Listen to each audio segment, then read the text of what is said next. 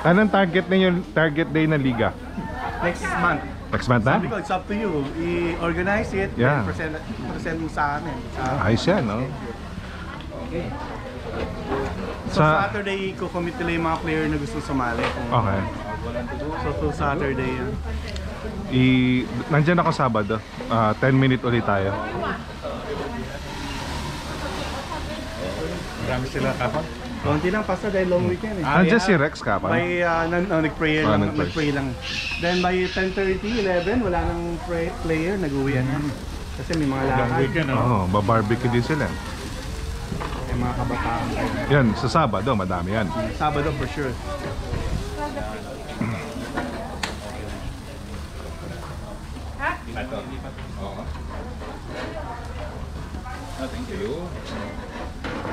Tama-tama si Jun, naghahanap pa ng malalaroan na. Yeah.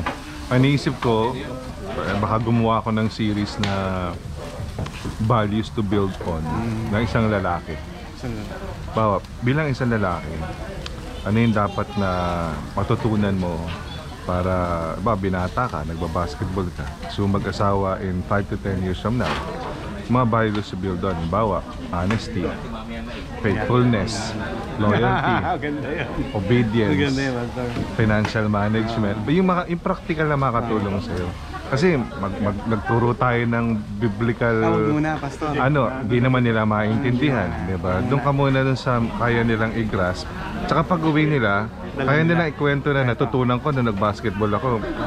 Dapat daw obedient ako, dapat faithful ako sa asawa, dapat alam mo yung mga practical na may papa-assignment tayo o pag uwi nyo, pagtimpla nyo na asawa yung Ah, pagtimpla mo ng kape yung asawa mo. Okay bro, pag hindi mo ba naman madala yung asawa mo dito, kasi sabihin, saan ba kayo nagpa-basketball? Maganda dyan ah, tinuturuan kayong pagsilbihan kami. Or, ano yan? Hindi pa muna yung hindi pa teaching sa Biblia. Kumbaga sa pagkain, hindi mo kagad pwedeng pakainin ng meat.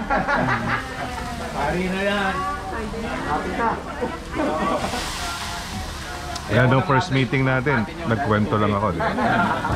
Pero, there's something na matututunan sila, right? It's a good principle. O kasi nalalagdag yung oil eh. Kaya nga. Kaya nga ganyan. May nagpapasiklab. Kaya may nilalagay na ano eh, parang parang mat. Oo. Neutralize yung ano. Sabi mo, Brother Bong, meron tayo, di ba? Meron, meron. Di ko. Di ba ako sa nailagay?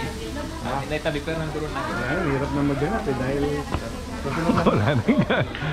Pati gamit natin, rebuild. eh. Rebuilding din yung gamit natin. As in, laki ng space natin eh. Tapos kinonfine mo sa maliit, mawawala talaga iba. Magtatapon ka talaga.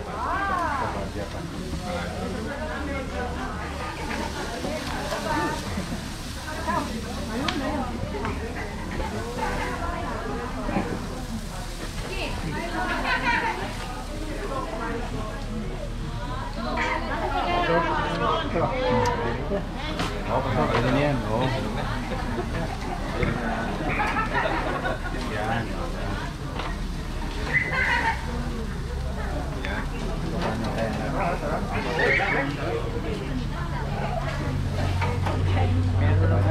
Corn? Corn? Ah, corn daw. Meron po, meron. Yung isa lang. Bagong hango yan sa talahib. Ang daming ganyan sa Walmart kahapon eh. Ano Corn. Kasi, oh, 28 cents lang yan. Laglag. Ayan yan, Pastor. Kaya yan na, Pastor. 28 cents ba? Yeah. Kasi para nga sa, siguro sa ano, 4th of July. Pumasok ba? Oo, pumasok. Bumili ko gabi bago magsara kasi alam ko doon ang delivery nila eh. Oh, fresh na kuha natin, di ba?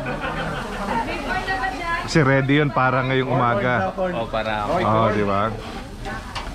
Pag- pagkatapos, malapit sa inyo yung kwan, di ba? oh, ka- one mile lang yun eh. Pagkatapos ng youth night, punta na ako ng Walmart. Oo. Yan, sarap, well done, no? Yung nauna ko eh, sunog. Toasted. Na.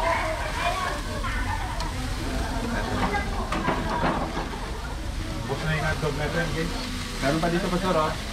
Ano, magbubukas ba tayo? Yan. Meron nga eh, parang sinadyan, sa. Eh, yung usok mo, gusto lang, mamumunga na yung, ano yan.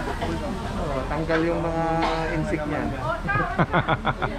Parang pinausukang mangga, no? Ito pa, delivery. Oh, had a burger? Delivery, Hot dog. delivery. Hot dog. okay, I don't really Ay pa, hot dog. Hot dog, oh, yan. birthday mo eh. Dapat birthday, Birthday, niya ha. Happy birthday to you. Happy birthday to you. Happy birthday, happy birthday.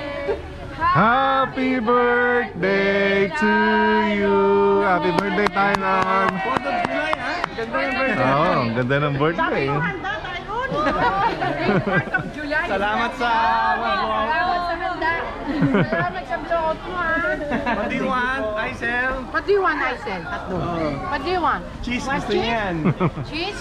Just one, okay? Uh, one cheese? Oh. Okay, thank you. Say thank you. Hotdog. Thank you. Thank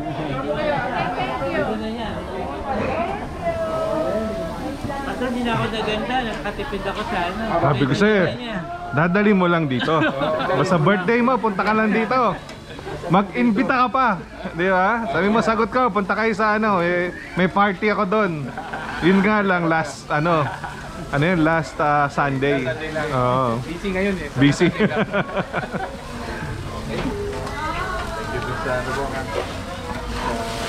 Ay, ano ba yun?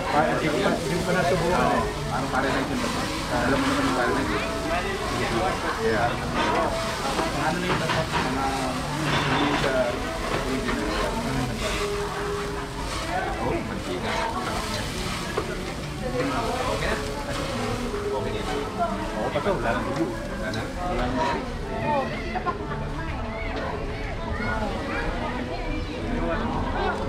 Yeah. yes. You want more, Jim? Oh, uh, I'm fine right now. Yeah, if you want more, ah, just get them. Yeah. Do they have any corn in the car? Corn, yes, I'll get you corn.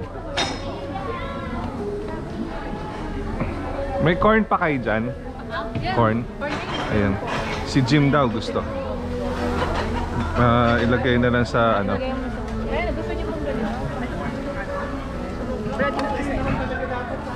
Pakilagay nga, Cled. Isa. Yan. Ano?